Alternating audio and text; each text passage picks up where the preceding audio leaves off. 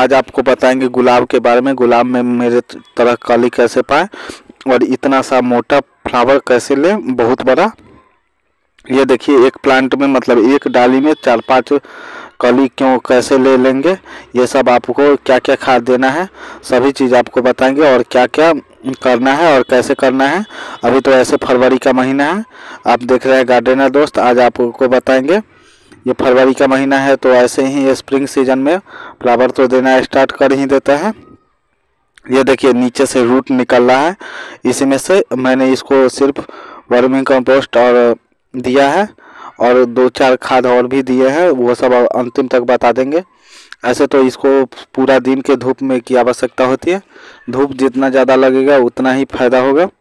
आप इसे ठंडा में ही रखें मतलब गर्मी आएगा ज़्यादा तो उसमें थोड़ा कम धूप की आवश्यकता होती है, लेकिन ठंड में अगर आप ज़मीन में लगा रहे हैं तो तो कोई बात नहीं, कोई महीना रहे। आप जहाँ लगा देंगे, वहीं प्लांट होने लगेगा। और ठंड का, जो ठंड का एरिया है, उसमें रखेंगे तो और भी अच्छा होगा। ठंड के एरिया में रखना बहुत ही आवश्यक होता है। ऐसे इसका प्लांट ठंड के एरिया में ही लगाना चाहिए, लेकिन ऐसे गर्मी के एरिया में लगाइएगा तो इसमें थोड़ा ज़्यादा पानी देने की आवश्यकता होगी। और सबसे ज़्यादा ये बात होती है, जो पानी जितना ज़्यादा पड़ेगा, उतना ही फ्लावर आएगा और इसमें पानी देने के लिए आपको नॉर्मल पानी नहीं दे। पंद्रह या बीस दिन पे आप इसमें वर्मिंग कंपोस्ट वाला पानी दे। अगर आपके पास गोबर की खाद है तो गोबर खाद वाला ही पानी दे। अगर बर्मिंग कंपोस्ट है तो बर्मिंग कंपोस्ट वाला पानी दे। आपको इस समय बीस या पच्चीस रुपये में छोटा छोटा प्लांट मिल जाएगा, इसका गुलाब का, जिसमें आप दस बारह रंग के ले आइए और उसे लगा दीजिए या पचास रुपये में थोड़ा उससे बड़ा मिलेगा बोरी वाला, वो लगा दें और उसके बाद वो ही आपको अगले साल बहुत सा प्लांट बन जाएगा तो उसी प्लांट से आप इसका प्लांट ग्रो करते रहिए। जितना ज़्यादा प्लांट आपका होगा मतलब जितना कलर का, उतना ही फ़ायदा का बात होता है। ऐसे जितना कम कलर का होगा, उतना ही ख़राब होगा। ऐसे मेरे पास तो आठ नौ रंग का है। आपके पास कितने रंग का है, ज़रूर कमेंट करके बताएँ। इसका प्लांट में सबसे ज़्यादा इतना इतना मोटा स्पाइक कैसे आता है मेरा?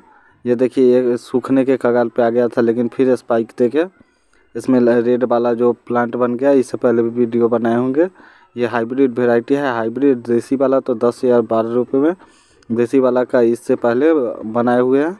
आप इसके नीचे जो कमैनी होता है, कमैनी कर दे, जिससे उसके नीचे जो भी कीड़ा मकोड़ा हो और जो भी खरपतवार हो, वो मर जाए। मैं कमैनी दो दिन पहले कर दिया था तो वो दो दिन आप छोड़ दें। ऐसे ही सूखने दें, जिससे पानी इसका निकल जाएगा। और ज़्यादा पानी नहीं होगा तो इसका फ्लावर मरने का चांस नहीं रहेगा और पेड़ भी मरना नहीं चाहेगा। अगर आपका प्लांट सूख रहा है तो वहाँ थोड़ा कटिंग करके थोड़ा सा हल्दी लगा दें। हल्दी लगाने से ये होगा, हल्दी जितना थोड़ा लगा दीजिएगा तो उससे इसका प्लांट में कोई ये नहीं होगा रूटिंग रॉट नहीं होगा और प्लांट का वो डाली नहीं सूखेगा। वो डाली सूखने के लिए आपको वो ज़रूर रूटिंग रॉट लगाना आवश्यक तो नहीं होता है, लेकिन वो ज़रूर लगा दे हल्दी। या तुलसी का पत्ता आपके पास हो। मेरे बगल में ही तुलसी का पत्ता है, इसलिए मैं तुलसी का पत्ता एंटीऑक्सीडेंट होता है तो तुलसी का पत्ता भी लगा सकते हैं। वो जहाँ से कटिंग की है, उस पर टिप पे, जिससे ये होगा, जो वहाँ से फंगस नहीं लगेगा और प्लांट सूखने का खतरा नहीं रहेगा। आप कटिंग के लिए अच्छा से शार्पनेस नाइफ ले और उसे उबाल दे थोड़ा पानी में, या कोई भी वैसा हो आपके घर में कीटनाशक या कोई वैसा चीज़, जिससे आप उसको उबाल दे, उसी में, चाहे उसमें डुबा के तब कटिंग करें। जिससे उसका बैक्टीरिया मरा रहे। नहीं तो आपको कटिंग करने में सबसे ज़्यादा यही दिक्कत हो जाए। कटिंग कर दीजिएगा और तो जाके ज़्यादा दिक्कत आ जाएगा इसका प्लांट में और उसमें से फंगस लग के ख़राब हो सकता है। इसका सबसे ज़्यादा ऊपर से नहीं कटिंग करें, नीचे से कटिंग एक बित्ता छोड़ के आप कटिंग करें, इसलिए करेंगे क्योंकि नीचे से कीजिएगा तो वहाँ से सटा हुआ रहता है। नीचे जो हाइब्रिड बनाया जाता है उसका दोनों का गठजोड़ गठजोड़ पे से आप नीचे ही लगाएँ। गठजोड़ तो ऐसे भी ऊपर ही रहना चाहिए। पहले लगाने के समय गठजोड़ से नीचे लगाएँ। मतलब गठजोड़ ऊपर रहे, जहाँ से दोनों जंगली और इसका रहता है। हाइब्रिड का क्रॉस वहाँ से आप नीचे ऊपर करके लगाएँ। वो ऊपर ही रहने दे, लेकिन मिट्टी भरते भरते उसको भी अंदर कर दें, जिससे ये होगा, जो आपको नीचे से जो जंगली प्लांट हो वो कभी नहीं निकलेगा। और ये प्लांट आपका सरवाइव करने लगे हैं।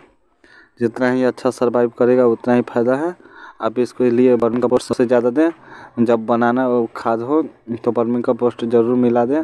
बर्मी कम्पोस्ट मिलाने में ये होता है, जो बर्मी कम्पोस्ट दे तो उसमें प्लांट अच्छा सा ग्रो कर जाता है। जितना पुराना बर्मी कम्पोस्ट होगा, उतना ही अच्छा। ऐसे हम इसमें जो फर्टिलाइज़र देते हैं सब्ज़ी का, वो हम पीछे वीडियो में बताए हुए हैं, आप वो वीडियो देख ले सकते हैं। वो इससे पहले दो तीन वीडियो पहले होगा, आप देख लीजिए वही, आप चेक करके वो भी कैसे बनाया जाता है, वो देख लीजिए, और वही पानी आप रोज़ाना इसको डालते रहिए। वो पानी दीजिएगा तो बहुत अच्छा इसका प्लांट ग्रो करेगा। अगर आपके पास इनो हो, घर में जो खाने वाला साल्ट होता है, इनो में मात्रा रहता है सोडियम का थोड़ा ज़्यादा यूनो दीजिएगा तो इसका प्लांट और भी ग्रो करेगा। ऐसे हल्दी भी दे सकते हैं एंटी फंगल के लिए। हल्दी इनो मिला के आप दे सकते हैं। इसका एक गिलास पंद्रह दिन पे तो इसका और भी फ्लावर पे फ्लावर आने लगेगा। चारों तरफ़ कली ही कली भर जाएगा। एक प्लांट में सौ कली आपका हो जाएगा तो आपको इसको लगाने में बहुत फ़ायदा होगा। और एक प्लांट में जैसे ही सौ, दो सौ कली हो जाएगा, थोड़ा प्लांट बड़ा होना चाहिए। एक साल बाद ही सौ कली आएँगे, क्योंकि ये मेरा छोटा प्लांट है, एक साल का ही हुआ है अभी। तो ये इसलिए ये छोटा है और मिट्टी उतना अच्छा नहीं है। मिट्टी में थोड़ा वर्मिंग कंपोस्ट कम पड़ा था, इसलिए ऐसा नहीं बन पाया, लेकिन वर्मिंग कंपोस्ट अभी इसमें पूरा कर देंगे। अब थोड़ा दिन में इसमें, लेकिन ये एक बार में पाँच सात कली हो जाता है। फिर कली जब सूखने लगता है फूल तो उसको काट दिया जाता है, एक नाइफ के शार्पनेस नाइफ के द्वारा। देखिए कितना मोटा कली बन रहा है। ऐसे ही जो प्लांट के ऊपर से कली बन रहा है, वो ठीक रहता है। और जो नहीं बना है जिसमें कली तो उसे हम हटा देते हैं। आप इसको एक डंटी के सहारे खड़ा करके रखें, नहीं तो एक साल का प्लांट रहेगा, आपको टूटने का डर ज़्यादा रहता है। ताकि इसमें जितना भी प्लांट हो, वो टूट जाता है। टूट जाएगा तो आपका ख़राब हो जाएगा, क्योंकि जहाँ से क्रॉस करवाया जाता है वहीं से अगर टूट गया तो तो कोई काम का ही नहीं रहेगा। अगर उससे ऊपर टूटा तो यही काम का रहेगा। ऐसे उसे ऊपर ही टूटना आप नीचे करके, भर भर के वर्मिंग कंपोस्ट मिला के उसको जो यहाँ से हाइब्रिड किया रहता है, उसे ऊपर दे। में जिससे मेरा देखिए ऊपर से गया था फिर बन गया और फ्लावर वाला प्लांट बन गया। तो जिस का रहता है चैलेंज ये बात भी थे उसमें पाँच पत्ता रहता है और जैसे ही सात तक हो जाता है। और पत्ता वो प्लांट काट दे। अगर बड़ा हो गया सात वाला है। एक डाली है तो काट के देख ले। जैसे सात वाला पत्ता वाला सूख गया तो वो पेड़ हटा दे, वो फलता फलता नहीं है। अगर पत्ता वाला थोड़ा छोटा है तो वो उसे हटा दे और कटिंग कर दे।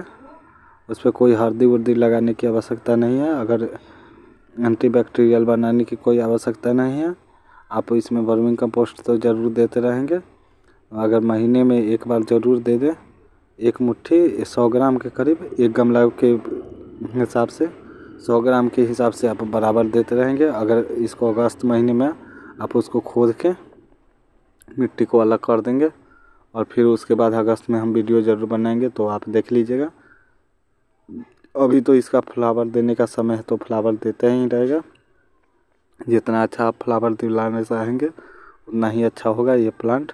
और उतना ही आपको इसमें खाद उद देना होगा। अगर एन पी के देना चाहते हैं तो उन्नीस उन्नीस दे सकते हैं। अगर गुलाब की खाद भी आती है, जो हमने अमेजन से मंगवाया था, वो भी हमने डाला था।